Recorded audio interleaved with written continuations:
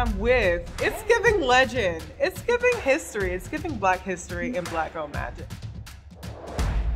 Me and Jordan, like when I tell you, we just like looked at each other and we were like, wow, like we really just did this. That moment was so unreal. It was just so unbelievable, but we also made history. I'm such a fighter and I'm just like, there's more for me to prove, you know?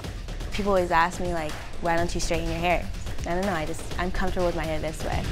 Some way, in some form, there's gonna be a Black Girl Magic competition.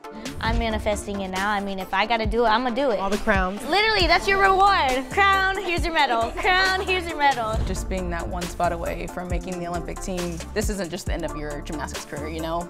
I would do it all over just to feel that one moment again. Once I saw my name go in that third spot, I was like, we just did something history. We did it. She was like, wow, you guys did that. I said, mm-hmm, and we'll do it again.